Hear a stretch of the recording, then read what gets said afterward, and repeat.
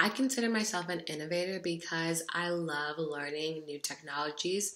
It's honestly fun for me. So anything that can help my life and help with my productivity, I'm all on board for learning and I love relaying my information to people and letting them know about new technologies that I've found. So I kind of get people on my innovation bandwagon. um, I feel like my university could benefit from having Google G Suite and using their technologies a lot more because right now we use Microsoft Office Suite very much so, and it's kind of dated. Um, especially on our computers, it takes a good 10 minutes sometimes for applications to pull up. So that really cuts into the classroom time. I think the teachers could benefit from it, and I also think the students could benefit from it.